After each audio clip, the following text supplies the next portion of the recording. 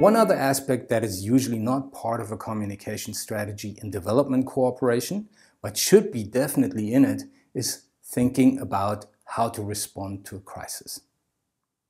Or let's rather say for something that's not going according to plan, which is sort of a crisis for a typical planner. So this could be either that something went wrong with what you communicated, or your project is going through a critical change, this sort of thing. What makes this difficult, obviously, is that you don't know in advance what kind of crisis might emerge. And preparing for all possibilities is clearly not feasible. You can still do some communications planning though. You can start with scenario planning. This will limit the number of possible crises by identifying clusters of comparable situations, which leads you to similar response processes that can be used throughout these different situations.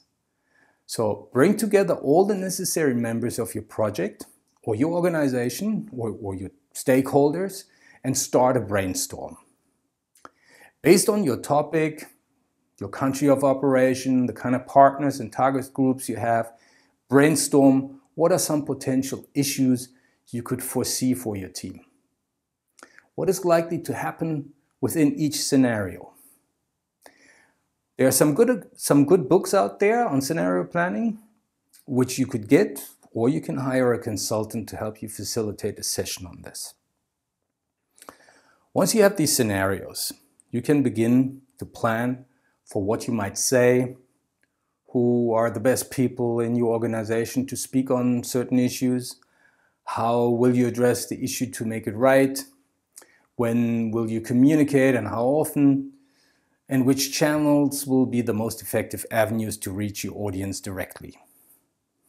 Getting these questions answered upfront, to some degree at least, will allow you to quickly get your team and your response to the crisis up and running if something should happen. One very important note on transparency in a crisis always remember that trying to cover up something or even delaying your response is the wrong decision. It's better to own your mistake and be accountable from the very beginning. Your target group wants to trust you. So planning for an unplanned situation will make you so much better positioned to do what's right for your project and your stakeholders.